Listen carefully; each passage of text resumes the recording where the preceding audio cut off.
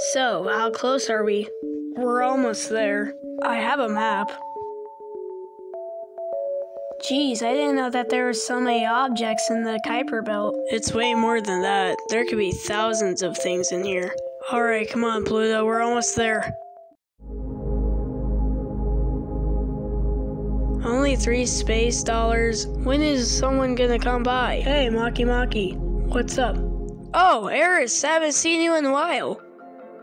So, where's the space money? It's in my mask. Okay, I got it. Why do you wear a mask? It's cold in my orbit. I'll take that. How many do you want? One is fine.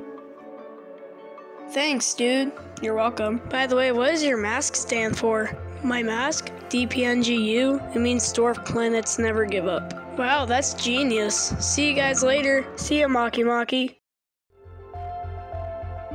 So, what do you look like behind the mask? Uh, why? Well, you've been having it on this whole time. Um, okay. Wait, so you're gonna take it off? Nah, maybe another time. Ah, okay.